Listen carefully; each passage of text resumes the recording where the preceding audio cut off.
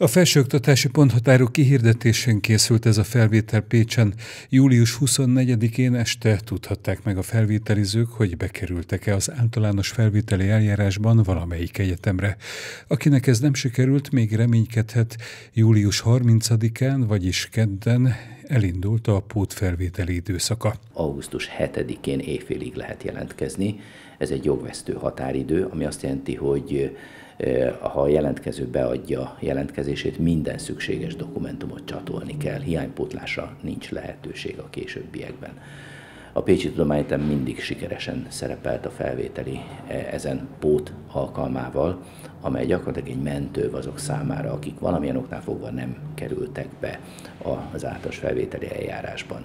Közel 300 képzést hirdetünk ezen a felvételi alkalmon, közel 3000 helyetre lehet pályázni. Egy képzést lehet csak megjelölni a pótfelvételi jelentkezésnél.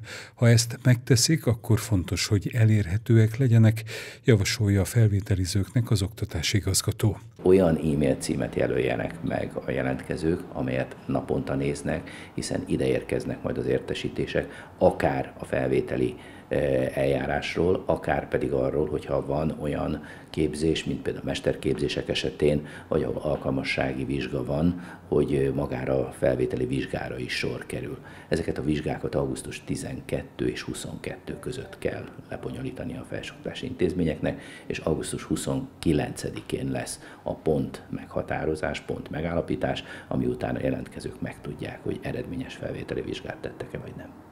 Minden koron találhatnak meghirdetett képzéseket a jelentkezők. Elsősorban önköltséges képzésekre lehet jelentkezni.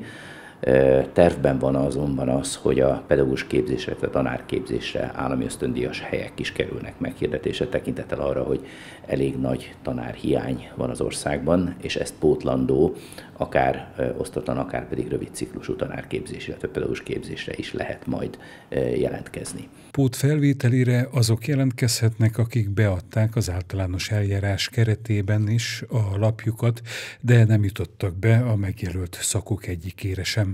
Vagyis akit már felvettek valamelyik képzési helyre, de mégis máshol szeretné elkezdeni tanulmányait, és ezért pót felvételizne, nem teheti meg.